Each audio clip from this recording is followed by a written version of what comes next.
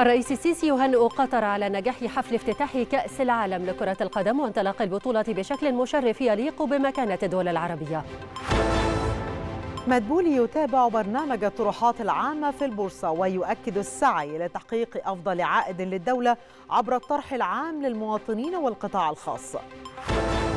زلنسكي يناشد حلف الناتو لحماية المواقع النووية الأوكرانية وروسيا تحذر من حادث نووي محتمل في محطة زابوريجيا. السادسة مساء في القاهرة الرابعة بتوقيت جرينتش. نشرة إخبارية مفصلة تأتيكم من التلفزيون المصري. أهلا بكم.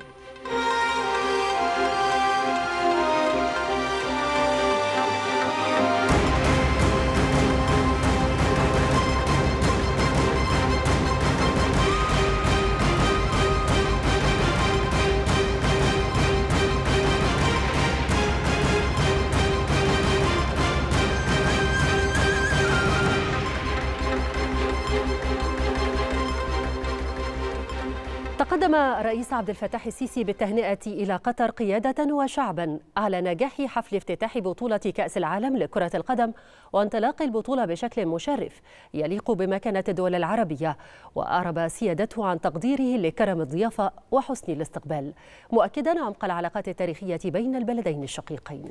جاء ذلك خلال الاتصال الهاتفي الذي أجراه الرئيس عبد الفتاح السيسي صباح اليوم قبل مغادرة مقر إقامته بالعاصمة القطرية الدوحة مع الأمير تميم بن حمد آل ثاني أمير دولة قطر. من جانبه أعرب أمير دولة قطر عن خالص الامتنان والتقدير لحضور الرئيس عبد الفتاح السيسي حفل افتتاح كأس العالم وزيارة ضيف عزيز على الدوحة والتي من شأنها أن ترسخ قوة العلاقات الثنائية الأخوية بين البلدين خاصة مع التطور الإيجابي الذي تشهده على جميع الأصعدة خلال الفترة الأخيرة.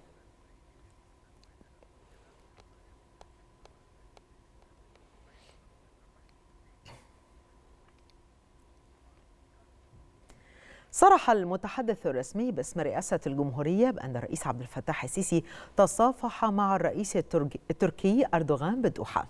حيث تم تأكيد المتبادل على عمق الروابط التاريخية التي تربط البلدين والشعبين المصري والتركي.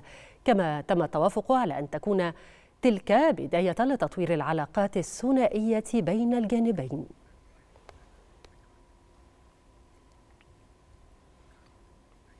هذا وقد عاد الرئيس عبد الفتاح السيسي إلى أرض الوطن بعد حضوره حفل افتتاح بطولة كأس العالم لكرة القدم بالدوحة والتي انطلقت أمس.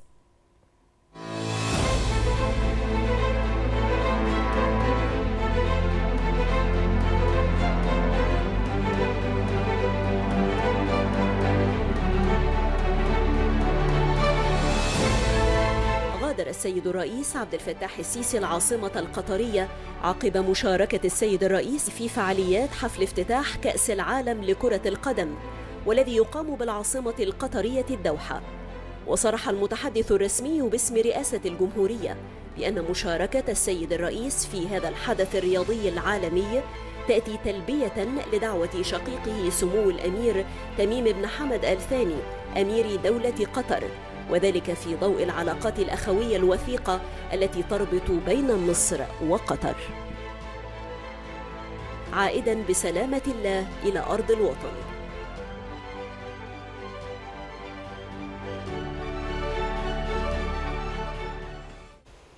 أشاد المستشار الدكتور حنفي جبالي رئيس مجلس النواب بنجاح مصر في استضافة قمة المناخ كوب 27 بمدينة شرم الشيخ. مؤكدا في كلمة ألقاها أمام المجلس اليوم أن مصر طالما كانت المنقذة في مراحل التاريخ الفارقة حيث رفعت لواء العمل الدولي لتنفيذ التعهدات العالمية في مواجهة ظاهرة تغير المناخ. أضافت الدولة المصرية خلال الأيام الماضية إنجازا استثنائيا. مضاء بحروف من نور بنجاحها المبهر في تنظيم أعمال الدورة السابعة والعشرين لمؤتمر الأطراف في اتفاقية الأمم المتحدة الإطارية لتغير المناخ والتي استضافتها مدينة السلام شرم الشيخ. تلك القمة التي تعد الحدث الأبرز والأكثر تأثيرا عالميا لتثبت مصر من خلالها لتلك من خلال تنظيمها لتلك القمة أنها جديرة بكل شيء عظيم. وأن مصر التي لا طالما كانت المنقذ في مراحل التاريخ الفارقة قد لبت نداء الإنسانية والبشرية لمواجهة ذلك الخطر الوجودي الذي يهدد الحاضر والمستقبل معا.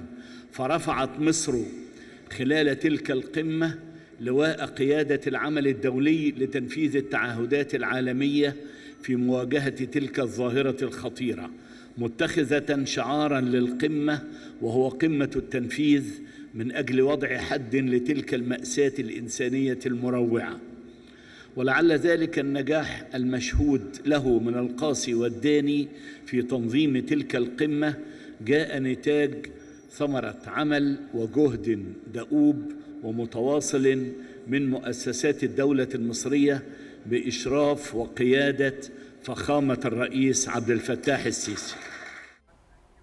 نشر المركز الإعلامي لمجلس الوزراء تقريرا تضمن عرضا معلوماتيا يسلط الضوء على جميع جهود الدولة للتوسع في تنفيذ المشروعات الخضراء لتحقيق التنمية الاقتصادية المستدامة في ظل اهتمام المجتمع الدولي بمواجهة أزمة التغير المناخي. ووفقا للتقرير تعد مصر أول دولة بمنطقة الشرق الأوسط وشمال إفريقيا تصدر السندات الخضراء السيادية الحكومية بالأسواق العالمية. كما أشار التقرير إلى أن الاستثمارات العامة الخضراء المستهدفة بالخطة الاستثمارية لعام 2022-2023 بلغت 40% من جملة الاستثمارات العامة.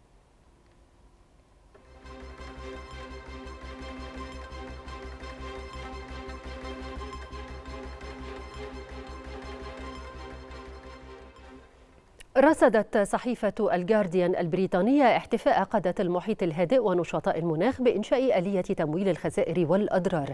في اتفاقية مؤتمر المناخ كوب 27 وسط إشادات بالرئاسة المصرية للمؤتمر في تأمين النتائج. وقالت الصحيفة إن صندوق الخسائر والأضرار الذي سيوفر المساعدة المالية للدول الفقيرة المنكوبة بكوارث المناخ. كان من بين أحد الطلبات الرئيسية لدول المحيط الهادئ التي تعد بين أكثر الدول عرضة لتأثيرات أزمة المناخ لعقود خلال مفاوضات المناخ. بما أنه ليس هناك من أكد رئيس مجلس الوزراء أهمية الاستمرار في نهج الانضباط المالي والحفاظ على المسار الآمن للموازنة العامة رغم التحديات الجسيمة التي تواجه مختلف دول العالم حاليا. جاء ذلك خلال الاجتماع الذي عقده لاستعراض التقديرات الأولية للموازنة العامة للدولة للعام المالي الحالي في ضوء الأوضاع الاقتصادية الراهنة. شهد الاجتماع مناقشة عدد من النقاط المرتبطة بأداء الموازنة العامة للدولة للعام الجاري. من بينها التقديرات الإجمالية الأولية للأداء المالي للعام الحالي والتقديرات الأولية لأداء الإيرادات والمصروفات العامة.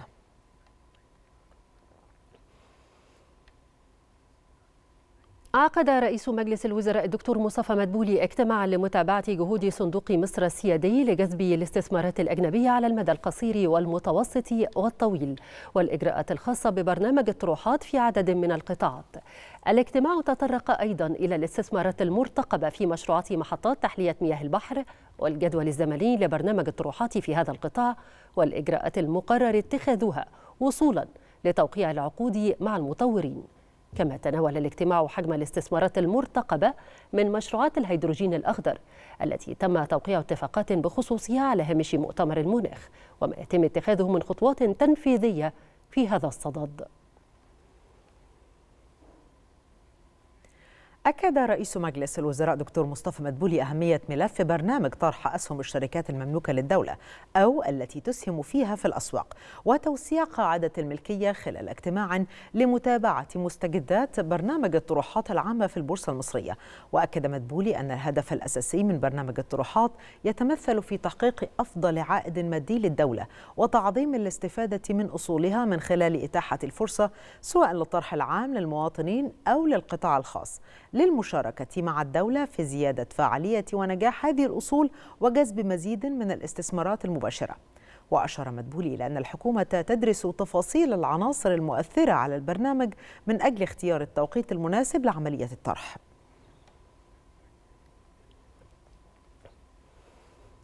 عقد رئيس مجلس الوزراء مصطفى مدبولي مع ممثلي الشركة المشاركة في تصنيع الكرة الرسمية لمونديال 2022 وخلال الاجتماع توجه رئيس مجلس الوزراء بالتهنئة لمسؤولي جهاز مشروعات الخدمة الوطنية وممثلي الشركة على خطوة تصنيع هذا المنتج الرياضي المميز مثمنا أن يتم ذلك بأياد مصرية كمساهمة للصناعة الوطنية في هذه البطولة الأشهر كرويا في العالم.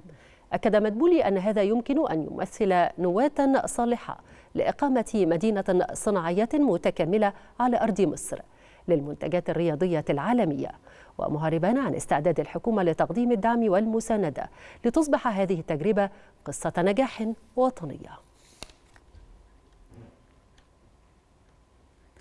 انطلقت فعاليات التدريب البحري الجوي المصري ميدوزا 12 والذي يستمر عدة أيام بنطاق مسرح عمليات البحر المتوسط وذلك بمشاركة عناصر من القوات الجوية والبحرية والقوات الخاصة المصرية واليونانية والقبرصية والسعودية والأمريكية وكل من الإمارات والبحرين وألمانيا وفرنسا والمغرب والأردن والكونغو ورومانيا بصفة مراقب يشمل التدريب تنفيذ العديد من الأنشطة منها قيام القوات المشاركة بأعمال التخطيط وإدارة أعمال قتال بحرية وجوية مشتركة لصقل مهارات القادة والضباط في إدارة العمليات المشتركة وتبادل الخبرات بين القوات المشاركة وصولا لأعلى معدلات الكفاءة والاستعداد لتنفيذ أي مهام مشتركة تحت مختلف الظروف. نظمت القوات الجوية مؤتمرا صحفيا للإعلان عن عرض الغردقة الجوي المقرر تنفيذه في نهاية الشهر الجاري بمنطقة سهل حشيش. وسيشهد العرض مشاركة من فريق الألعاب الجوية المصري النجوم الفضية وفريق الألعاب الجوية البريطاني السهام الحمراء. وألقى المقدم طيار محمد رفعت من فريق الألعاب الجوية المصري كلمة أشار فيها إلى أهمية العرض الذي يسهم في تنشيط حركة السياحة بواحدة من أجمل المدن الساحلية في مصر. معربا عن تقديره لفريق الألعاب الجوية البريطاني الذي يتمتع بسمعة راقية خلال مشاركته في الفعاليات.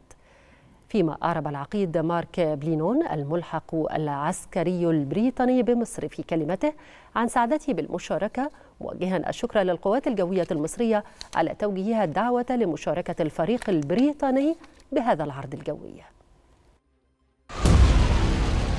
بانطلاقة قوية بدأنا وسط أقدم الحضارات وعلى سفح الأهرامات كان العرض الجوي الأول. بيراميدز اير شو 2022 واستمرارا للنجاحات ولأول مرة معا وعلى الأراضي المصرية. نقدم لكم العرض الجوي غردقة اير شو 2022 بمدينة سهل حشيش. بمشاركة فريق السهام الحمراء الإنجليزي وفريق النجوم الفضية المصري وقوات المظلات المصرية. العرض الجوي غردقة اير شو 2022 اللقاء الأول لفريق الألعاب الجوية البريطاني وفريق الألعاب الجوية المصري على الأراضي المصرية.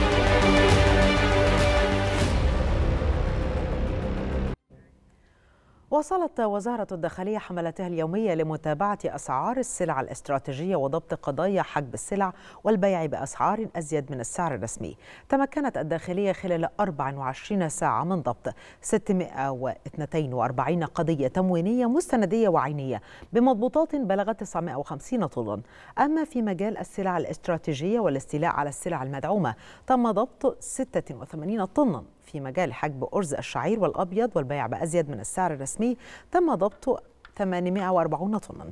وفي مجال عدم الإعلان عن الأسعار بقصد البيع بأزيد من السعر الرسمي للسلع تم ضبط 24 طنا. أما في مجال قضايا المخابز فتم ضبط 921 قضية من بينها 316 قضية خبز ناقص الوزن و300 قضية واحدة لخبز غير مطابق للمواصفات.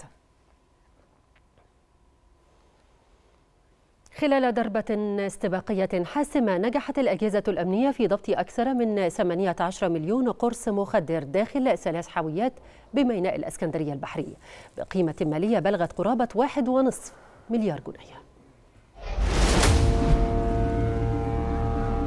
تفرض وزارة الداخلية رقابة حاكمة على منافذ البلاد الشرعية للحيلولة دون استغلالها من قبل التشكيلات العصابية في جلب وتهريب المواد المخدرة تلك الآفة الخطيرة على المجتمع واقتصاده. وتشكل النجاحات الأمنية في هذا الإطار رادعا حاسما لكل من يحاول جلب هذه السموم القاتلة عبر تلك المنافذ.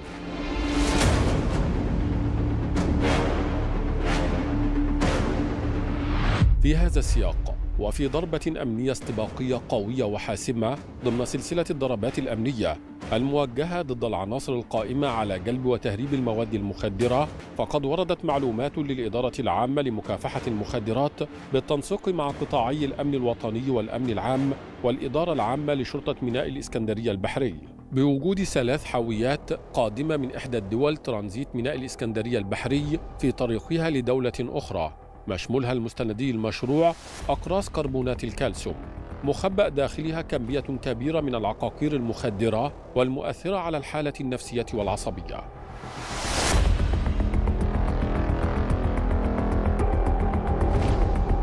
أكدت التحريات وعمليات الرصد والمتابعة مع استخدام التقنيات الحديثة. صحة تلك المعلومات. وبعد اتخاذ كافة الإجراءات القانونية تم تفتيش الحاويات المتحرى عنها.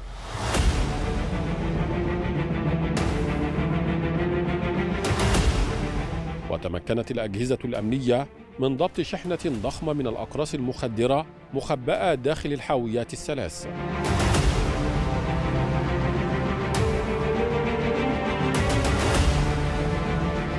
أسفرت عمليات التفتيش عن ضبط 18 مليون و336 ألفا و100 قرص مخدر ومؤثر على الحالة النفسية والعصبية. وتقدر القيمة المالية لهذه الشحنة الضخمة من المواد المخدرة المضبوطة بمليار وأربعمائة وستة وستين مليونا وثمانمائة وثمانية وثمانين ألف جنيه. هذا الرقم الضخم للمضبوطات وقيمتها المالية يعكس قوة الضربة الأمنية التي نفذتها أجهزة وزارة الداخلية تنسيقا فيما بينها مستخدمة التقنيات الحديثة ودقة الرصد والمتابعة التي أحبطت معها تلك العملية للجلب والتهريب ويؤكد احترافية ويقظة الأجهزة الأمنية في حماية منافذ البلاد الشرعية من كافة محاولات الجلب والتهريب من خلالها.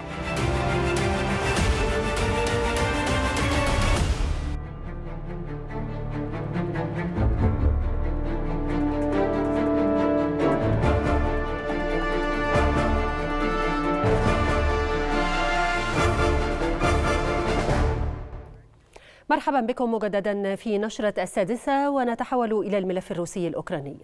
ناشد الرئيس الأوكراني فلاديمير زيلنسكي حلف الناتو لحماية المواقع النووية في بلاده. جاءت مناشدة زيلنسكي مع تصاعد المخاطر من استهداف محطة زابوريجيا للطاقة النووية جنوبي أوكرانيا وفي خطاب ألقاه عبر الفيديو كونفرنس أمام الجمعية البرلمانية للناتو في مدريد حث زيلنسكي الدول الأعضاء على ضمان حماية المحطات النووية في بلاده من الهجمات الروسية небезпечних інцидентів на атомних об'єктах. Всі ми хочемо, щоб російські терористи більше не змогли забирати життя людей. Кожній з наших держав потрібен гарантований захист від будь-яких російських ракет і від будь-яких.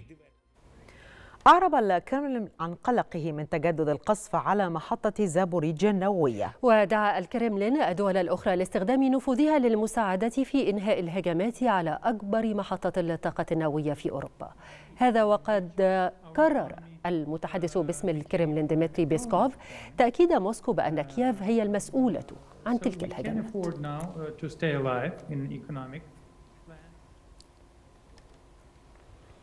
أكد رينات كاريتشا مستشار مدير شركة الطاقة النووية الروسية أن مفتشي الوكالة الدولية للطاقة الذرية سيتفقدون محطة زابوريجيا النووية. وحذر كاريتشا من أن تفقد محطة زابوريجيا ما زال غير آمن. كان المدير العام للوكالة الدولية للطاقة الذرية رافائيل جروسي قد دعا في وقت سابق إلى وقف قصف المحطة.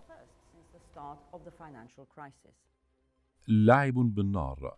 هكذا وصفت الوكالة الدولية للطاقة الذرية الوضع في محطة زابوريجيا الأوكرانية للطاقة النووية بعد تعرضها مجددا للقصف. فمع تبادل روسيا وأوكرانيا الاتهام بقصف المحطة الأكبر في أوروبا قالت الوكالة التابعة للأمم المتحدة إن مثل هذه الهجمات قد تتسبب في حدوث كارثة كبرى. مدير الوكالة الأممية رافائيل جروسي وصف الأخبار الواردة من المحطة بالمزعجة جدا لافتا إلى أن حدوث انفجارات في موقع هذه المحطة النووية الكبرى هو أمر غير مقبول على الإطلاق ايا كان من يقف وراءه. وزارة الدفاع الروسية من جانبها أكدت أن كييف لا توقف استفزازاتها الهادفة إلى إثارة خطر وقوع كارثة في المحطة لافتة إلى أن مستويات الإشعاع في المحطة لا تزال طبيعية. على الجانب الآخر اتهمت وكالة الطاقة النووية الأوكرانية روسيا بتعريض العالم بأسره للخطر مؤكدة أنها سجلت 12 ضربة روسية على الأقل في موقع المحطة النووية. وكانت زابوروجيا توفر نحو خمس احتياجات أوكرانيا من الكهرباء قبل العملية العسكرية الروسية في الرابع والعشرين من فبراير الماضي واضطرت للعمل بمولدات احتياطية عدة مرات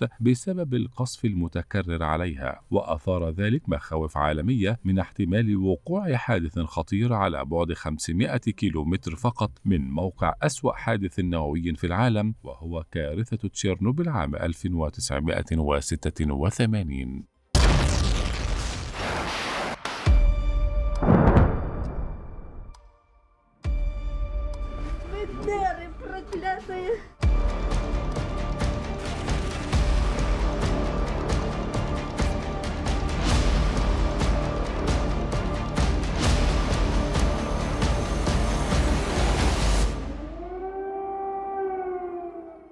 قال رئيس الوزراء البريطاني ريشي سوناك إن حكومته ستضع خططا لمساعدة الشركات كثيفة الاستهلاك للطاقة. وأضاف سوناك أن الحكومة تستهدف دعم فواتير الطاقة لمن هم في أمس الحاجة إلى المساعدة. متوقعا من وزارة المالية معالجة ذلك في الوقت المناسب.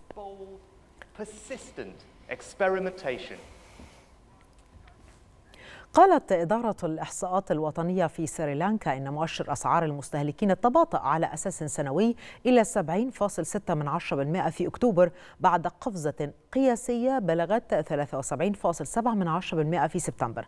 وقالت إدارة الإحصاء إن تضخم أسعار المواد الغذائية بلغ 80.9% في أكتوبر بينما بلغ التضخم غير الغذائي 61.3%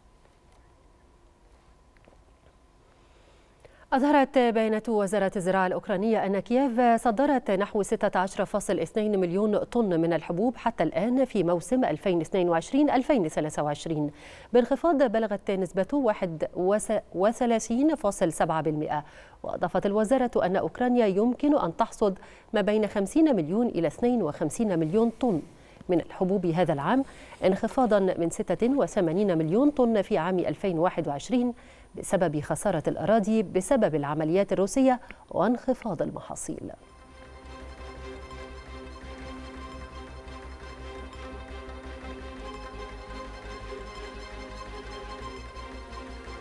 نشرتنا متواصلة معكم وفيها. العاهل البحريني يقبل استقالة الحكومة ويكلف ولي العهد بتشكيل حكومة جديدة.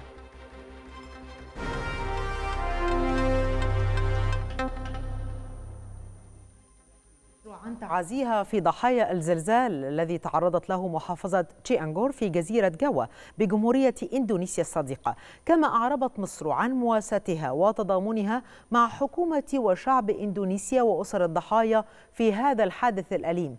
وتمنياتها بسرعة الشفاء للمصابين. ولقي 162 شخصا مصرعهم وأصيب أكثر من 700 آخرين وذلك على إثر زلزال ضرب جزيرة جوا الإندونيسية بقوة 5.6 من عشرة درجة بقياس ريختر.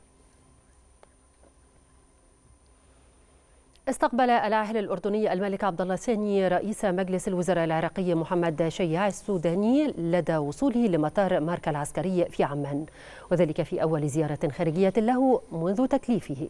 وجرت لرئيس مجلس الوزراء العراقي مراسم استقبال رسمية ومن المقرر أن يجري الملك عبد الله الثاني والسوداني مباحثات في وقت لاحق.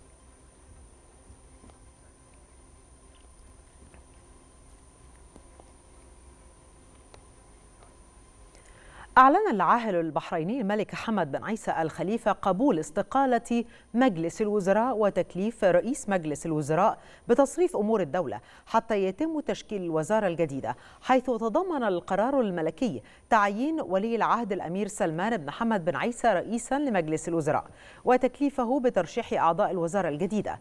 كان الأمير سلمان قد تقدم باستقالة حكومته لملك البحرين وفقا للدستور الذي ينص على إعادة تشكيل الوزارة عند بدء الفصل التشريعي عقب انتخابات العامة الأخيرة. يواصل برنامج الأغذية العالمية التابع للأمم المتحدة إرسال المساعدات الإنسانية إلى إقليم تيغراي الإثيوبي بعد توقيع هدنة في وقت سابق من الشهر الجاري. وأفاد مسؤولون أن الإقليم استقبل خلال الساعات الماضية 14 شاحنة على متنها وقود ومساعدات غذائية.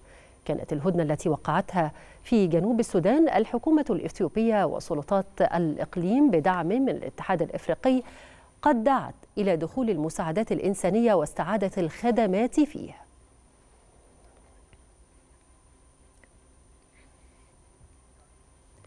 أكدت نائبة الرئيس الأمريكي كاميلا هاريس التزام الولايات المتحدة الثابت تجاه الفلبين. جاء ذلك خلال لقائها مع الرئيس الفلبيني فريديناند ماركوس جونيور في العاصمة مانيلا وذلك بعد حضورها بقمة منتدى التعاون الاقتصادي لآسيا والمحيط الهادئ في تايلاند. خلال اللقاء أكد الرئيس الفلبيني أنه لا يرى مستقبلا للفلبين لا يتضمن وجود الولايات المتحدة. هذا وتعتبر كامالا هاريس هي أرفع مسؤولة أمريكية تزور مانيلا منذ انتخاب ماركوس في يونيو.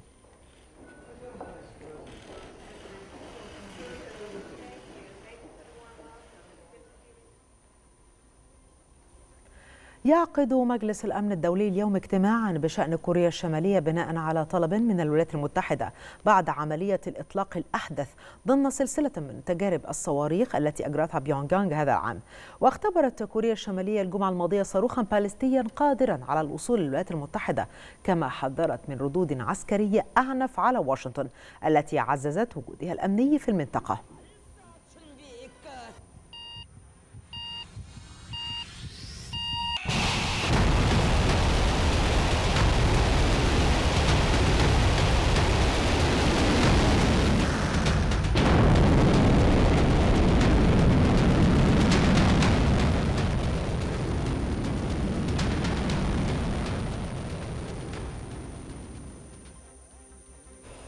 فاز رئيس كازاخستان قاسم توكاييف في الانتخابات الرئاسية بعدما حصد أكثر من 81% من الأصوات.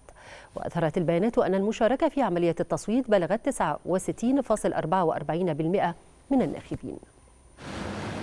بعد منافسة من طرف واحد. أسدل الستار على انتخابات الرئاسة الكازاخستانية بفوز كاسح للرئيس قاسم جومارت توكاييف لينال ولاية ثانية بنسبة أصوات بلغت أكثر من 81% ليمدد فترة حكمه للبلاد. وقبل إعلان النتائج وانطلاق التنافس كان من المتوقع بشكل كبير أن يفوز الرئيس البالغ من العمر 69 عاما والذي وصل إلى السلطة في 2019 بالانتخابات ويمدد حكمه للدولة الغنية بالنفط. البيانات أظهرت أن المشاركة في التصويت بلغت 69.44 من 100% من الناخبين ولم يتمكن أي من منافسيه الخمسة من تخطي نسبة 3.42 من 100% من الأصوات فيما اختار 5.8 من 10% من الناخبين عدم التصويت لأي من المرشحين. فوز تكييف جاء بعد عام شهد أعمال شغب دامية ونزاعا حادا في البلاد بعدما تحولت تظاهرات احتجاج على غلاء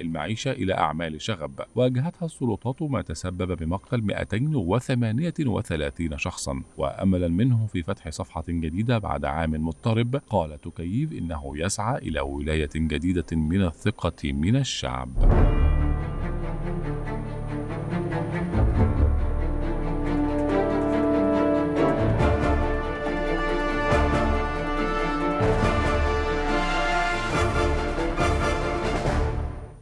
في إطار المبادرة الرئاسية حياة كريمة وقعت القافلة الطبية المجانية الكشف على ما يقرب من 600 مواطن في قرية تابعة لمركز ومدينة القصاصين بمحافظة الإسماعيلية.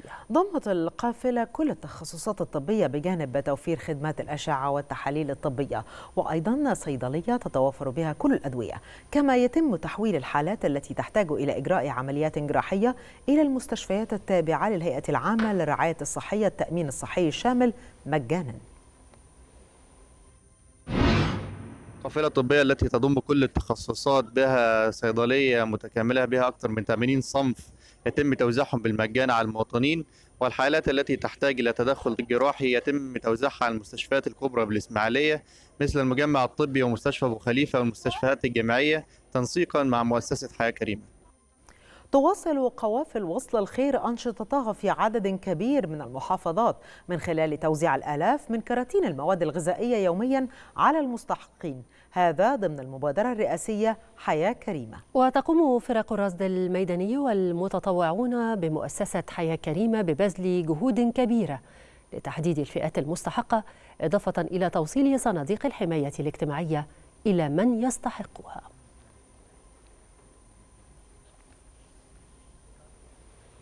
وفي إطار المبادرة الرئاسية حياة كريمة أكد محافظ الغربية طارق رحمي أن إجمالي عدد مشروعات تبطين وتطوير الترع في مركز زفتة بلغ أربعة أو بلغ 34 ترعة بنسبة إنجاز تخطت 51.2% وبإجمالي تكلفة تطوير 540.7 مليون جنيه. وشدد رحمي على الحرص الدائم على استمرار المتابعة الميدانية لكافة الأعمال التي يتم تنفيذها وذلك لضمان تنفيذ كافة المشاريع بأعلى جودة وانتهائها في الوقت المحدد لضمان حياة كريمة لكافة المواطنين بقرى مركز زفتة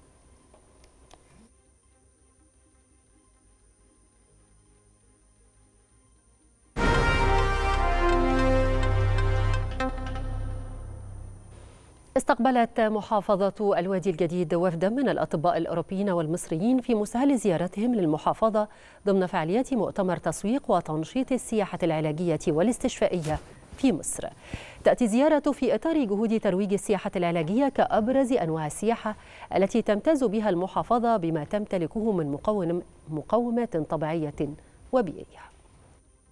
أنماط عديدة تتمتع بها السياحة المصرية والتي تجعلها من أهم المقاصد السياحية على مستوى العالم. وتعد السياحة العلاجية من أهم أنواع السياحة التي تتمتع بها مصر بالعديد من الأوجه والأماكن ويأتي منها محافظة الوادي الجديد. وقام وفد من الأطباء الأوروبيين بزيارة للعديد من المواقع السياحية والاستشفائية في الوادي الجديد. جاء في مقدمتها الآبار الكبريتية بقرية جناح وذلك ضمن فعاليات مؤتمر تسويق وتنشيط السياحة العلاجية والاستشفائية بمصر. والله زيارة النهاردة كانت مع فوج طبي جايين من أسبانيا والحقيقة جايين بيستكشفوا مصادر الطبيعية في محافظة وادي الجديد الواحات الداخلة والخارجة وكيفية العلاج الطبيعي بدلا من العلاجات التقليدية. المحافظة الحقيقة بتسخر بمقومات طبيعية استشفائية من الدفن بالرمال النزول في المياه الكبريتية الشمس الساطعة القوية وأوروبا داخلة في يعني في فترة الشتاء جايين يستكشفوا ده وهم الحقيقة متخصصين في العلاجات الطبيعية. إحنا في اطار توجيهات السيد الرئيس عبد الفتاح السيسي الأخيرة باستفاده بكل شبر من أرض مصر سواء استثمار زراعي أو استثمار سياحي فالحمد لله إحنا بالتعاون مع الشركات السياحية والجامعات المصرية دعينا وفد من الأطباء المهتمين بالسياحة العلاجية والسياحة الاستشفائية وجلنا أكثر من 15 واحد وفد من أسبانيا الصديقة وهيقعدوا معانا 3 4 أيام يدرسوا بقى كل الإمكانيات المتواجدة في من عيون كبريتية من دفن بالرمال. زيارة تأتي في إطار جهود ترويج السياحة العلاجية كأبرز أنواع السياحة التي تمتاز بها المحافظة بما تمتلكه من مقومات طبيعية وبيئية. كما حرص الوفد على زيارة أقدم الآثار القبطية وهي مدينة البجوات التي يرجع تاريخها إلى أكثر من أربعة ألاف عام. كما تم زيارة معبد هبس ويضم معالم أثرية تمثل العصور التاريخية المختلفة الفرعونية والفارسية والبطلمية والرومانية. والآن نتحول إلى أخبار الاقتصاد. الوقفة الاقتصادية مع مصطفى ميزار. شكرا أذى وشكرا هبة. أهلا بكم مشاهدينا الكرام في جولة جديدة في أخبار المال والأعمال في نشرة السادسة.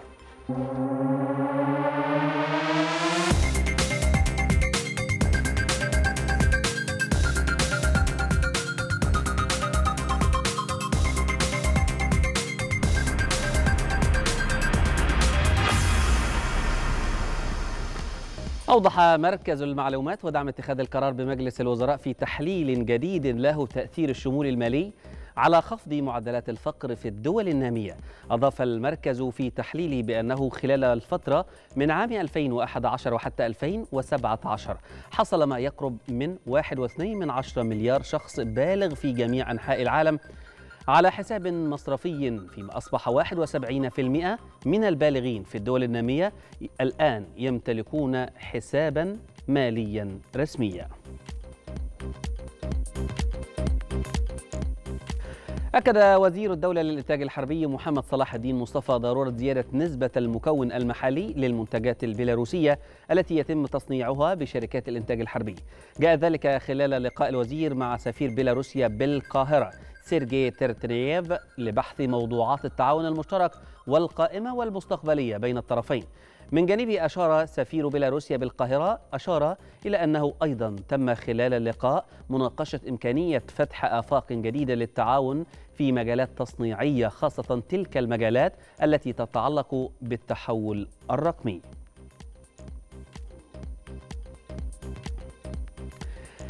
كشف تقرير لوزارة الزراعة بأنه تم خلال الأسبوع الماضي الإفراج عن 196 ألف طن من الذرة وفول الصويا بحوالي 88 مليون دولار. أضاف التقرير أن الإفراج شمل 158 ألف طن من الذرة بما يقرب 57 مليون دولار وحوالي 38 ألف طن من فول الصويا بقيمة 27 مليون دولار. وأضاف التقرير وأضافت أيضا أعلاف بحوالي 4 ملايين دولار. هذا وتواصل وزارة الزراعة التنسيق مع البنك المركزي واتحاد الدواجن لإفراج الدوري عن الذرة وفول الصويا وخامات وإضافات الأعلاف من الموانئ المصرية.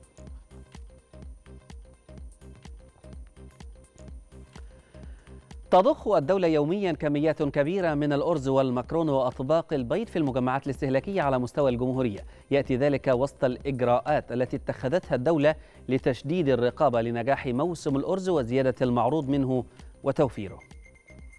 هذه الكميات الكبيرة من الأرز والمكرونة وأطباق البيض تضخ يوميا في أكثر من 1300 مجمع استهلاكي على مستوى الجمهورية لتوفير هذه السلع الغذائية الاستراتيجية الهامة داخل المنظومة التموينية والبيع الحر بأسعار مناسبة وبجودة عالية لتلبية احتياجات المواطنين وسط إجراءات اتخذتها الدولة لتجديد الرقابة لنجاح موسم الأرز وزيادة المعروض منه وتوفيره. تم ضخ 50 ألف طن ب 10 جنيه ونص خلال شهر 9 و10 وجينا في اليوم 10 11 تم ضخ 18500 طن رز رفيع الحبة وعريض الحبة. 5000 طن 5500 رفيع الحبة للشركة المصرية لتجاره الجملة من الصعيد حتى الإسكندرية. وإحنا كان لنا نصيب فيها كشركة تنين ب 2000 طن تم ضخهم يتم ضخهم يوميا ب 14 جنيه ونص للكيلو. الوزارة عامة مع الشركة القابضه كل تفكيرها كله إن هي بتركز على السلع الأساسية سواء كان سكر أو زيت أو رز أو مكرونة حتى كمان بحيث إن هي بتوفر الكميات على مستوى المجمعات كلها وبتعمل مخزون استراتيجي من السلع ديت من ثلاثة لست شهور في المخازن. وبالتالي الحمد لله الكميات كبيرة والسعر أقل من أسعار السوق بكتير. إجراءات رقابية وتنفيذية تستهدف التأكد من توافر السلع الأخرى كاللحوم والزيت والسكر وغيرها. مع ضخ كميات من السلع التي يقبل على شرائها المواطنين في كل السلاسل التجارية بالمحافظات. تنفيذا لتوجيهات الرئيس السيسي بالتخفيف عن الأسر ودعمهم بتوافر كل السلع الأساسية. بيتحدد من قبل وزارة التموين سعر المنظومة التموينية اللي هي بتتصرف للمواطن. فالمكرونة 400 جرام متسعرة من قبل وزارة التموين ب 5 جنيه وربع للمواطن. مفيش مكرونة دلوقتي سعرها 5 جنيه وربع ولا 6 جنيه ولا أكتر من كده كمان. فالأماكن الحاجة دي الدولة موفراها لكل المواطنين وبأسعار مناسبة جدا وفي متناول وأي مواطن هيروح أي مكان. في وزارة التموين هياخد جميع المقررات التموينية بسعر مناسب جدا. كل الأصناف موجودة بكميات كبيرة جدا زائد إن هو مش حكاية سلع أساسية بس زائد إن إحنا عندنا صرف مقررات تموينية عندنا خضار وفاكهة عندنا لحوم طازجة عندنا كل الأصناف زائد أسماك زي كل حاجة. إحنا بنطمن المواطن أنت في أي وقت بتخش مجمع استهلاكي بتلاقي حاجتك كلها زي ما أنت عايز. ومصر دايما بخير بوجود المجمعات الاستهلاكية. ما شاء الله متوفرة بس يعني إحنا ما ما ناخدش فوق كمياتنا اللي إحنا محتاجينها يعني. بس لما يعني ما اخدش ما اجيش اخد 10 كراتين بيض اخد 50 كيلو رز اخد كذا اخد احتياجاتي وكل يوم هلاقي اللي, مو- اللي أنا عايزه موجود. من ناحية الرز أرخص من بره من ناحية السكر أرخص من بره وحاجات كتيرة يعني. مجهود كبير تقوم به الدولة لضبط الأسعار وتوافر السلع تزامنا مع استمرار حزمة الدعم الاجتماعي الإضافي والتأكيد على وجود احتياطي استراتيجي لمختلف السلع. في رسالة تؤكد أن الأمن الغذائي على رأس أجندة أولويات الدولة. محمود جميل التلفزيون المصري. إلى أسواق المال حيث أنهت البورصة المصرية التعاملات على تراجع جماعي لمؤشرات بعد صعود دام لست جلسات متتالية وسط تداولات مرتفعة. هذا وقد تراجع رأس المال السوقي لأسهم الشركات المقيدة بالسوق بنحو 2.2 من عشرة مليار جنيه ليغلق عند مستوى 821.7 من عشرة مليار جنيه. أما على صعيد المؤشرات ففتح مؤشر EGX 30 عند مستوى 12523 نقطة وأغلق عند مستوى 12449 نقطة متراجعا بما نسبته 59 من 100 بالمئة كما فتح مؤشر الشركات الصغيرة والمتوسطة EGX 70 عند مستوى 2408 نقاط وأغلق عند مستوى 2397 نقطة. وذلك بنسبة 45 من 100% كذلك فتح مؤشر EGX 100 عند مستوى 3500 ونقطتان وأغلق عند مستوى 3484 نقطة متراجعا بما نسبته 52 من 100%. من أسواق المال إلى أسواق العملات وفيها تباينت أسعار العملات أمام الجنيه المصري ليسجل فيها الدولار الأمريكي ما قيمته 24 جنيه و47 قرشا للشراء و24 جنيه و54 قرشا للبيع. بالنسبة لليورو فقد وصلت قيمته إلى 25 جنيه وثلاثة قروش للشراء و25 جنيه و12 قرش للبيع. هذا في حين قد وصل الجنيه الاسترليني وصلت قيمته إلى 28 جنيه و87 قرشا للشراء و28 جنيه و97 قرشا للبيع. أما بالنسبة للعملات العربية مقابل الجنيه المصري فقد سجل الدرهم الإماراتي ما قيمته 6 جنيهات و66 قرشا للشراء و6 جنيهات و68 قرشا للبيع. وأخيرا الريال السعودي والذي وصلت قيمته إلى 6 جنيهات و50 قرشا للشراء و6 جنيهات و53 قرشا للبيع. من أسعار العملات إلى أسواق المعادن النفيسة فيها هبطت أسعار الذهب العالمية للجلسة الرابعة على التوالي لتصل إلى 1739 دولارا للأوقية. أما بالنسبة لأسعار الذهب محليا فقد سجل الذهب عيار 18 ما قيمته 1114 جنيه. بالنسبة لعيار 21 فقد وصلت قيمته إلى 1300 جنيه. وبالنسبة لعيار 24 فقد وصلت قيمته إلى 1400 و86 جنيه وبناء عليه وصل سعر الجنيه الذهب إلى 10400 جنيه. تراجعت أسعار النفط إلى أقرب وأدنى مستوياتها في شهرين بعد أن تراجعت بنحو دولار واحد للبرميل في وقت سابق مع انحسار المخاوف بشأن المعروض في حين ألقت المخاوف إزاء الطلب العالمي على الوقود في الصين وقوة الدولار بظلالها على الأسعار. هذا وقد تراجعت العقود الآجلة لخام برنت تسليم شهر يناير بأربعة وسبعين سنتا أو بما يعادل نسبته ثمانية من عشرة بالمئة لتصل إلى ستة وثمانين دولار وثمانية وثمانين سنتا للبرميل. هذا وقد بلغت العقود الأجلة لخام غرب تكساس الوسيط الأمريكي تسليم شهر ديسمبر وصلت إلى 79.4 من عشرة دولار للبرميل بانخفاض وصلت قيمته إلى 68 سنتا أو بما يعادل 9 من عشرة بالمئة. هذا وقد انخفضت أسعار المازوت عالميا هي الأخرى بما نسبته 22 من 100 بالمئة أو بتصل بنسبتها الأخيرة إلى 3.38 دولار للتر في المقابل ارتفعت أسعار الغاز الطبيعي هي الأخرى بما نسبته 2.4 من عشرة بالمئة لتسجل 6.45 من 100 دولار لكل مليون وحدة حرارية بريطانية. أعلن صندوق النقد الدولي أن ارتفاع أسعار الطاقة حسن على نحو ملموس التوقعات على المدى القريب للاقتصاد الجزائري. أوضح الصندوق أن إعادة التوازن المالي لا تزال ضرورية في الوقت الراهن لوضع المالية العامة على أسس سليمة. كما أضاف صندوق النقد الدولي أن تشديد السياسة النقدية مطلوب لاحتواء التضخم وأن التقدم المستمر في الإصلاحات الهيكلية سيساعد على تنويع الاقتصاد وتوفير المزيد من فرص العمل.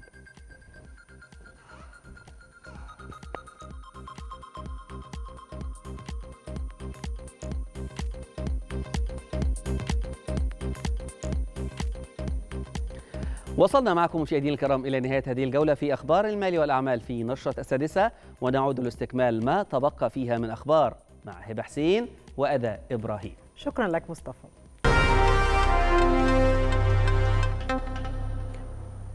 نهاية النشرة ولم يتبقى لنا سوى التذكرة بأبرز ما جاء فيها من أخبار.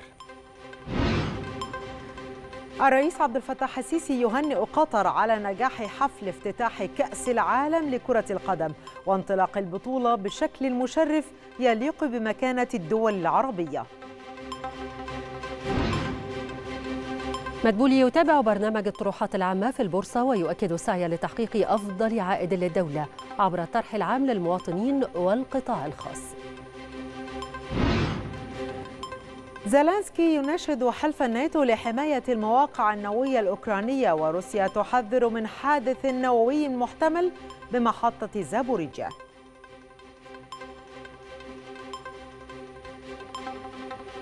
نهاية نشرة السادسة من التلفزيون المصري. شكرا لكم وإلى اللقاء. إلى اللقاء.